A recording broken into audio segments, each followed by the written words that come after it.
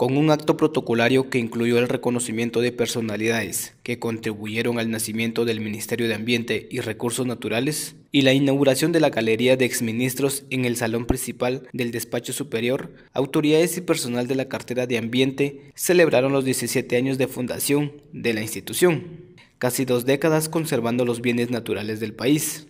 En la actividad conmemorativa participaron el vicepresidente de la República, Jafet Cabrera, el ministro de la Defensa Nacional, Luis Miguel Ralda Moreno, y el jefe del MARN, Sidney Samuels, entre otros invitados especiales.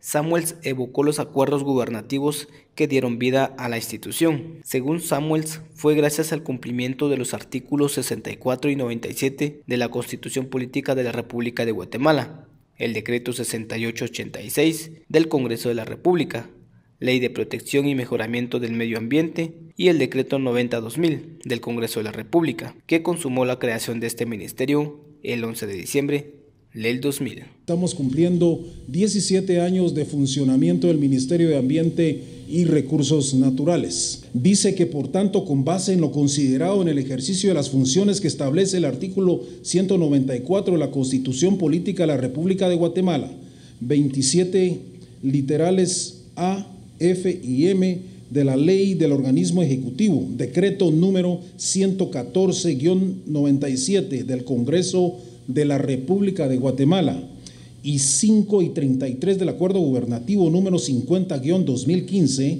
reglamento orgánico interno del Ministerio de Ambiente y Recursos Naturales, acuerda, artículo 1, Nombramiento. Nombrar el salón de reuniones del despacho superior del Ministerio de Ambiente y Recursos Naturales, Salón de los Ministros de Ambiente y Recursos Naturales. Asimismo, el gobernante Yafet Cabrera aprovechó la ocasión para hacer un llamado a la población en favor de una cultura ambiental que evite la destrucción del medio natural.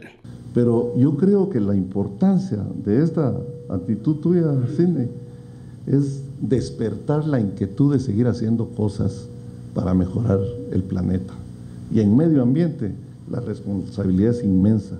El medio ambiente tiene que ver todos los ejes de desarrollo humano, todas las instituciones, los que se vistan de colorado, verde, lo que fuere.